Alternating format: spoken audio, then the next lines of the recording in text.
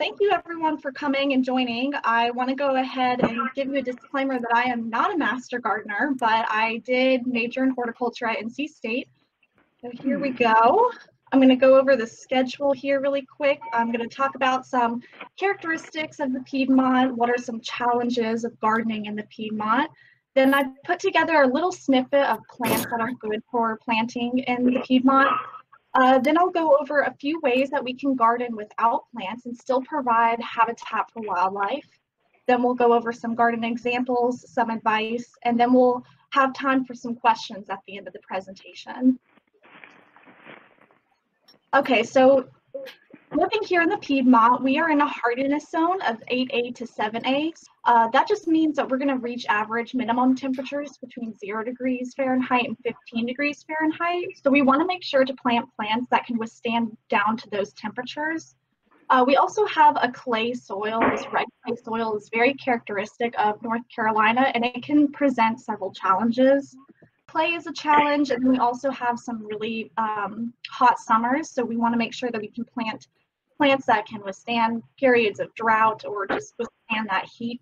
And so that presents a question of what plants are good for clay soil.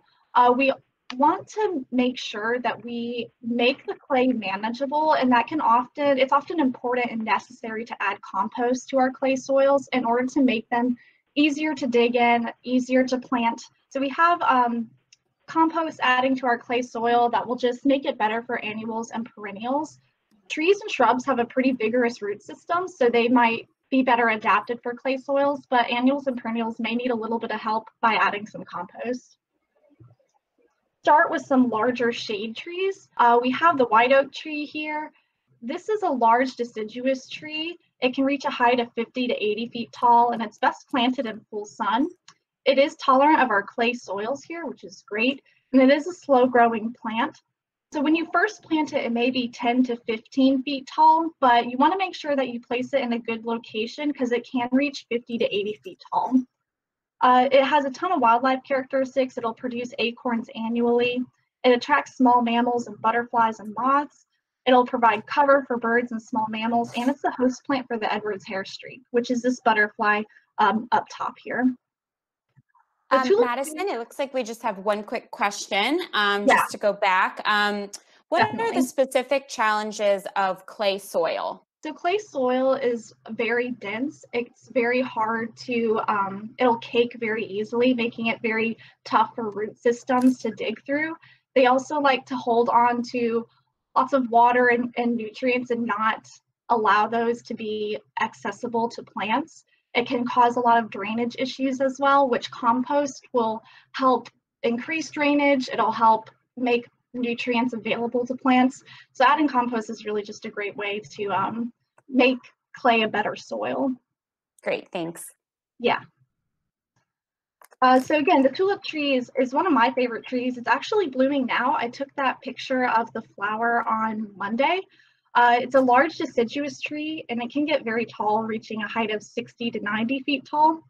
It's best planted in full sun and it has these nice showy flowers in the spring. Unfortunately, it blooms after it's already leafed out, so it can be challenging to see these really pretty flowers. But that's what they look like. They're a great flower that it will attract native bees and hummingbirds. It's a favorite tree for nesting birds, and it's the host plant to the eastern tiger swallowtail and the red spotted purple. Um, and the, you can see this leaf, it has four tiger swallowtail larvae on it, which is um, very telling. Black cherry is also a tree that was blooming last week. It might still be blooming this week, um, but it's a deciduous tree. It can reach a height of 50 to 80 feet tall. It likes full sun to part shade, and it produces those nice white cluster of flowers. Fruit is eaten by 33 different species of birds and mammals, making it a really good wildlife plant. Um, it's the host plant to several moths and butterflies, including the eastern tiger swallowtail, the cherry gall azure, and the viceroy. Uh, the viceroy is this butterfly here at the on the right. It's a mimic of the monarch butterfly. But one way that you can tell them apart is that the viceroy has several black lines going down the hind wings and then one line going straight across horizontally on the hind wings, which the monarch doesn't have that. So that's one way to tell them apart. This is a passion flower vine. It's a perennial vine that can reach a height of six to eight feet tall. It likes full sun to part shade. It's a heat tolerant and clay tolerant plant, so it's perfect for the Piedmont. Um, and that actually does produce an edible fruit. I've never personally had it, but I've heard that um, it's pretty good. Fruit will attract birds, the flowers will attract bees and butterflies. It's a host plant to the Gulf fritillary butterfly, which is this yellow or orange butterfly up top, and then the red banded hair streak, which it's pictured here sitting on a milkweed, but this is the red banded hair streak here. Virginia creeper is a deciduous perennial vine. It can reach a height of 30 feet to 50 feet, and it's like it likes full sun to part shade. I think that this is a really good plant that could replace uh, English ivy, which is very damaging to buildings and trees. It's a very aggressive plant and it's non-native. Um, but this plant is native and it adheres with adhesive discs, which means that it's not going to damage your buildings. I think that this would be good for like a cottage garden as it can grow up like a back shed or a trellis or an arbor. Um, but it is unfortunately often confused with poison ivy. So I have them here side by side for comparison. Poison ivy here, you can see it has three leaflets with a red dot in the center, whereas Virginia creeper has five leaflets and no red dot. This is going to provide a lot of wildlife characteristics. It produces this nice blue berry that will attract songbirds. If it's growing up a tree, it could provide perches for birds, or you can also grow it as a ground cover, which can provide cover for chipmunks and squirrels. It's also the larval host plant for several sphinx moths. Here we have the uh, interrupted fern. It's an evergreen perennial fern. It can reach a height of two to three feet tall. It likes part shade to full shade, and it can tolerate wet or dry soil. So it's a very versatile plant. Um, it looks gorgeous when planted in mass, like seen in this picture. Um, when it's planted in mass like this, it can provide cover to small mammals and amphibians, and it's also the host plant for the Osmunda moth. Here we have switchgrass. This is one of my favorite grasses. It's a perennial grass reaching a height of three to six feet tall. It's got this nice dense foliage making it really good for a prairie garden or even like a screen if you want to. I've seen it used to block like generators on NC State's campus. So it's got that nice tall, dense foliage. It can reach a height of three to six feet tall. It likes full sun to part shade and it blooms in the fall. And it grows in these nice dense clumps. You can see here's a clump here and then another one here. Um, but the seeds are eaten by ground birds and by game birds.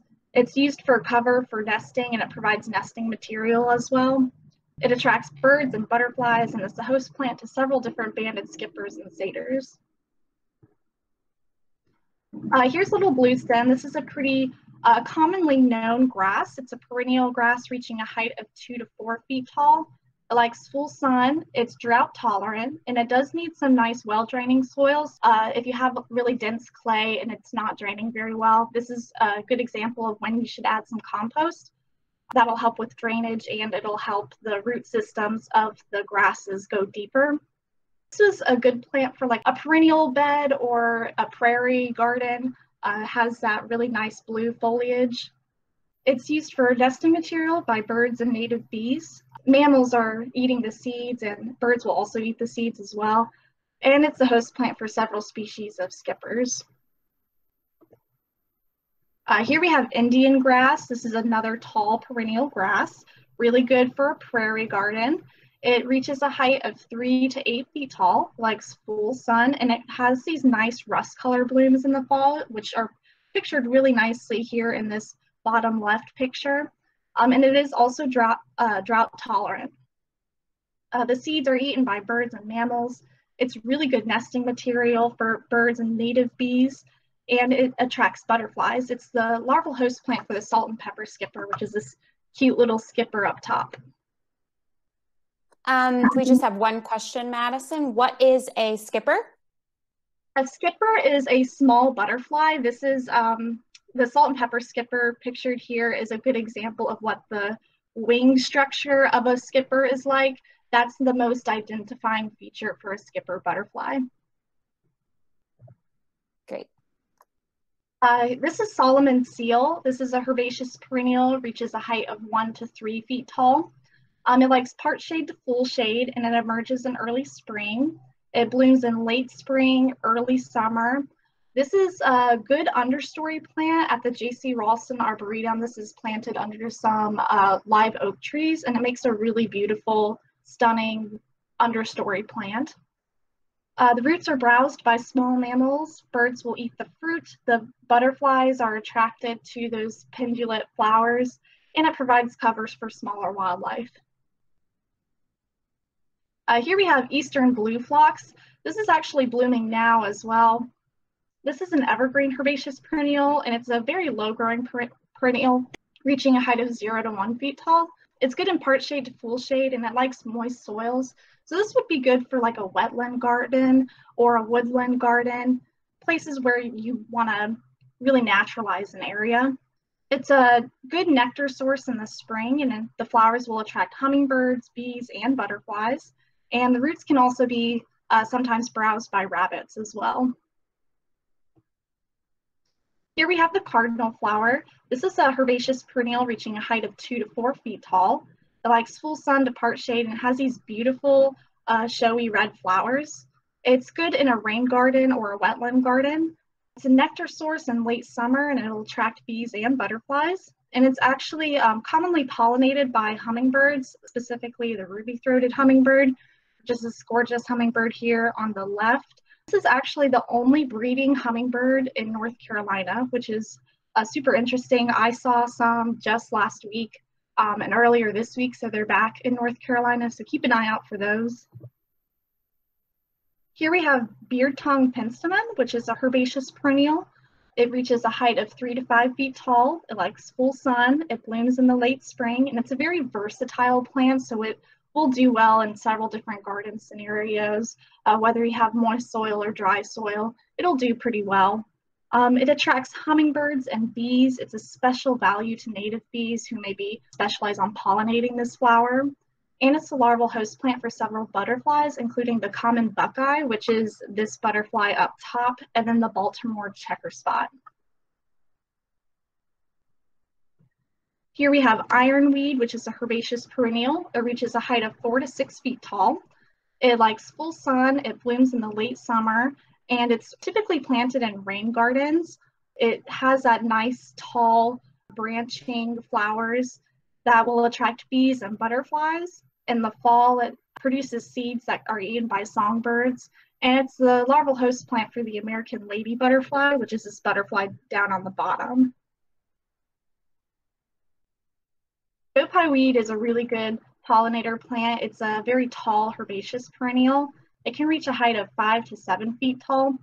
It likes full sun to part shade and it adds height to a garden bed because it does get so tall. It blooms in late summer, but once it does bloom, it just is a magnet for butterflies and bees. It's an incredible nectar source. The seeds are eaten by swamp sparrows, and it's the larval host plant for the pearl crescent. Another really interesting fun fact about this plant is that it has pithy stems, which are perfect nesting sites for native bees who will often bore into the stems and create nests in there. So it's actually really good to provide habitat for bees like that as well. Uh, here we have the common milkweed, which is probably pretty well known by many of you. It's a herbaceous perennial reaching a height of two to four feet tall, though Tara and I have seen some that get pretty close to five to six feet tall as well. Um, it likes full sun and it blooms in the summer. It's the larval host plant for the monarch butterfly, which you can see it just hanging off here, sipping the nectar from the flowers. It's a nectar source for bees and butterflies, and also a special nectar source for native bees who may be pollinated in a certain way. Here we have black-eyed Susan. It's a herbaceous perennial reaching a height of three to four feet tall. It likes full sun and it's drought tolerant. This is a picture I took last summer on a farm where they had a meadow garden. So you can just see how, how proliferous it is in its blooms. The ripened seeds will attract goldfinches and other songbirds in the fall. And it's a great nectar source for bees and butterflies as well. This is swamp sunflower. It's also a herbaceous perennial reaching a height of five to eight feet tall. So it does get really tall. It's probably best to plant them in the back of your garden or maybe in the center, adding height to those areas. It's a full sun to part shade plant and it blooms in the fall. It likes moist soils, so it's great for like a rain garden or uh, a wetland garden where it's going to stay moist for a while. The seeds will attract songbirds, grouse, and small mammals. And this is a picture of a grouse here on the bottom. It's a nectar source for a variety of bees and butterflies, including the, oh, it's actually the larval host plant for the silver, silvery checker spot butterfly, which is pictured up, up top. Here we have the late purple aster, which is a herbaceous perennial. It reaches a height of two to three feet tall. It blooms in full sun to part shade. It's a late fall blooming plant, which is great because it blooms later than other asters and it'll provide nectar and pollen for those late flying bees and butterflies. Um, it does also need well draining soil, so maybe adding some compost if you have really dense clay. Songbirds will eat the seeds in the fall and it's the host plant to the pearl crescent, and the pearl crescent flies for a very long time in the summer, so you'll frequently see this butterfly. Uh, wrinkle leaf goldenrod is a great plant to plant in conjunction with the late purple aster because they're both fall blooming plants and they're going to provide that late nectar and pollen that migrating monarchs need and other late flying pollinators need. It's a herbaceous perennial reaching a height of three to four feet tall. It likes full sun and it blooms in the fall. It'll attract bees, butterflies, beetles, anything that's flying still and needs some resources before winter hits. Seeds will attract goldfinches, indigo bunting, and sparrows. And it's uh, also the host plant to several species of moths. Okay, so that's all the plants I have for you, but I wanted to go ahead and talk about how it can provide for wildlife without plants. Uh, our hot summers and our clay soils can provide a lot of challenges that can make it hard to garden sometimes. So uh, this just helps us become more creative in being a wildlife steward. Uh, the best way to provide habitat are to include things that are food, include water, cover, places to raise young, or to use sustainable practices. So I want to talk about a few different ways that we can do that to include wildlife habitat, but just not quite have uh, the plants there. One way to do that is to have bare soil for ground nesting bees. Ground nesting bees make up 70% of our native bee population, uh, which is astounding for pollination purposes. So we want to make sure that we cater to their needs. What they like best is some like low growing, either low growing grass or sporadic grass if you have an area where it's just really hard to have plants, I would suggest using river rock and using it so that it leaves these gaps. So we have um, these two examples of some good sites for ground nesting bees. Another piece of advice that I would have is to use leaves for mulch instead of wood mulch. Wood mulch is pretty heavy and so bees have a harder time moving it, but if you use leaves, it's a lighter material and they can dig down to the ground so they can still access it.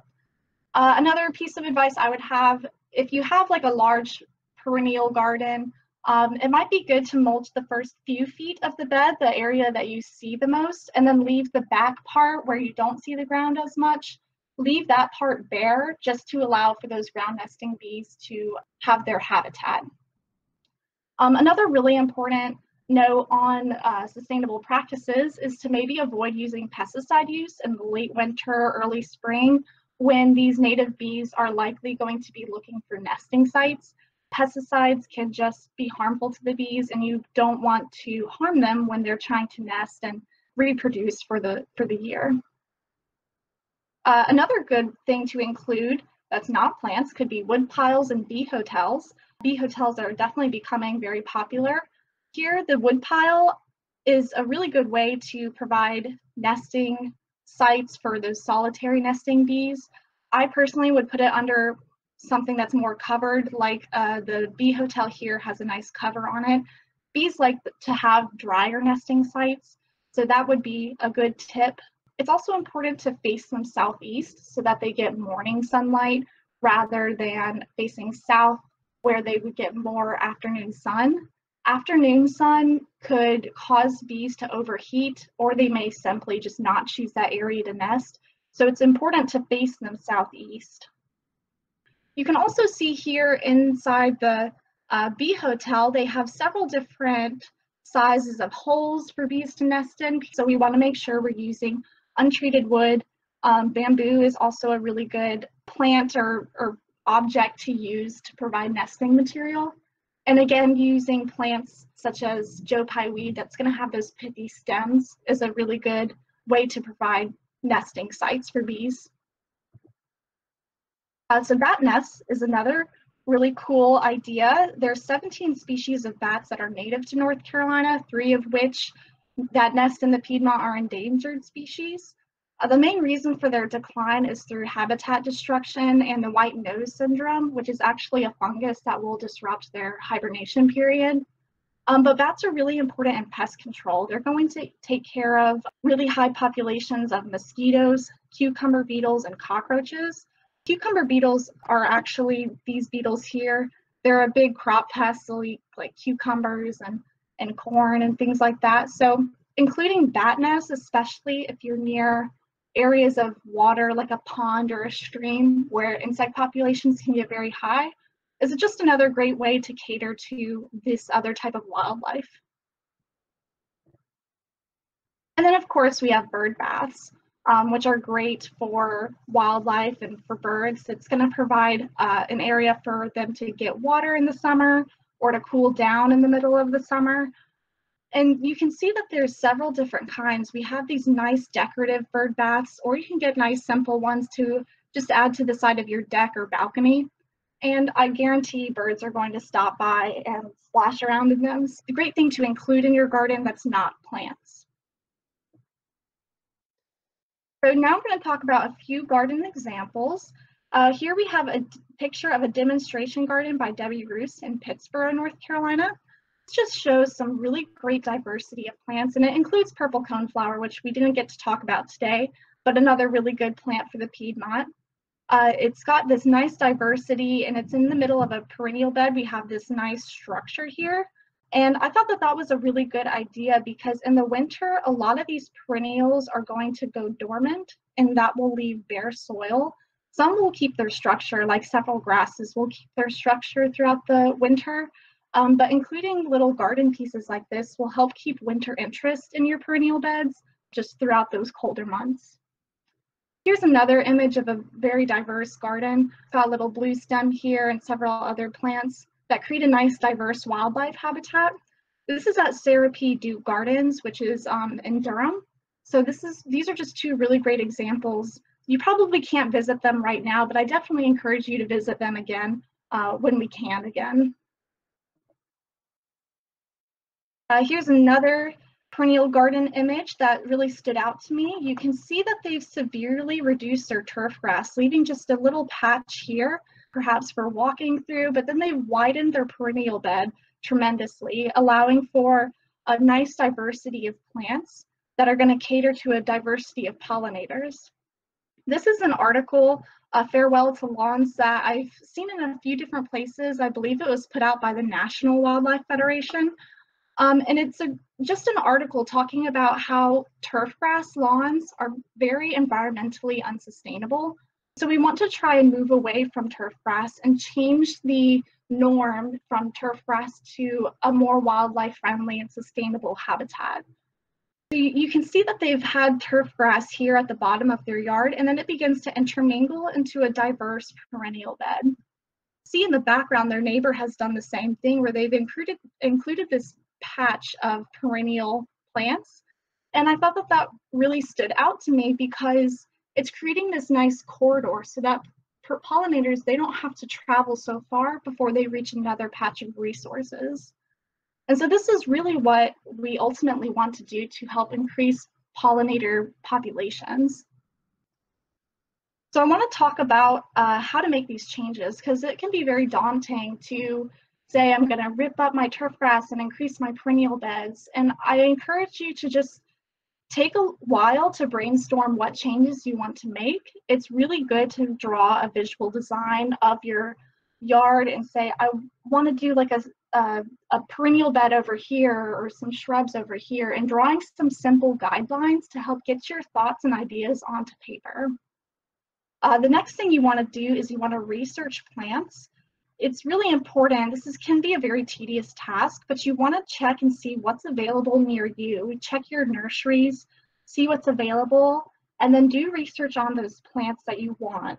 But make sure that you're buying them, planting them in the correct seasons. It can be very tedious to, to look that up, but it's going to help in the long run, both financially and just time wise because you don't want to spend and invest in these plants, plant them in the wrong time, and then they end up not doing well.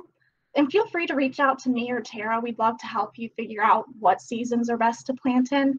Um, for example, trees are best planted in early March or in late fall. So, and if they plant, or if you plant them in the middle of July, they're going to get overheated and they're not, they will likely not survive. So be patient with this part in the end, it's going to help your invest investment, both time-wise and financially, uh, make a really good garden. I also encourage you to start with small changes. Maybe increase your perennial bed by a foot, or maybe as things die, replace them with something native. This is going to help make that daunting task more manageable, and it'll help you be able to plan better and plant plants that you really want. I encourage you also to involve your neighbors, your family, and your friends.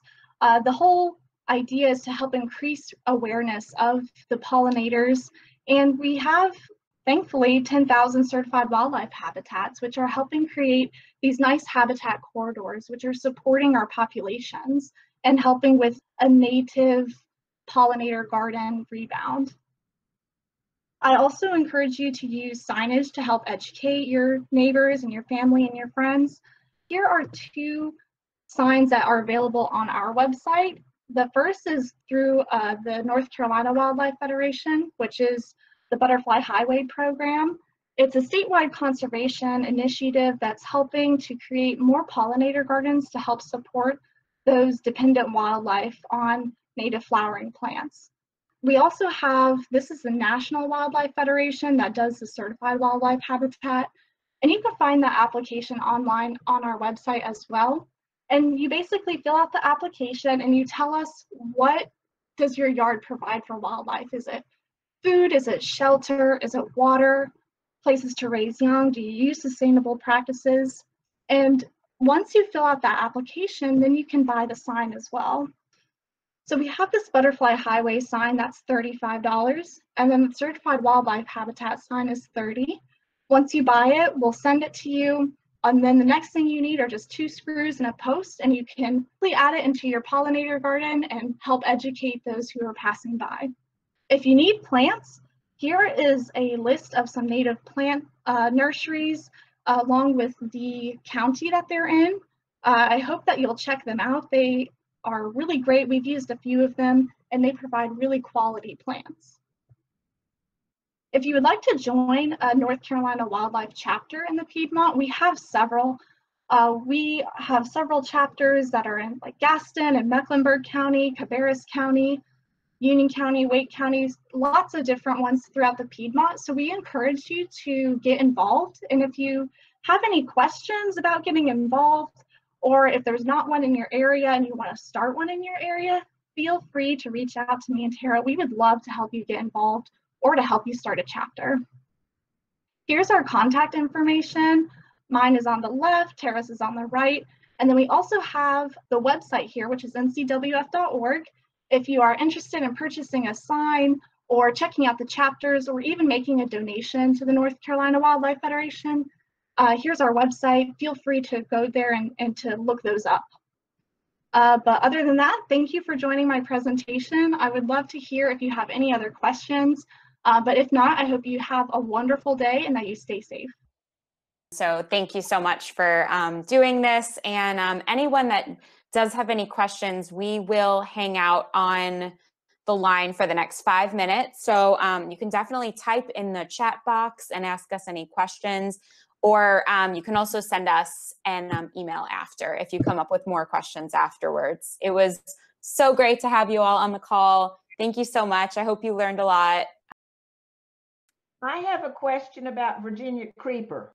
I guess I didn't realize it was such a good plant. I do know that it oftentimes gets mixed up with poison ivy, not only in sight, but also they oftentimes grow together.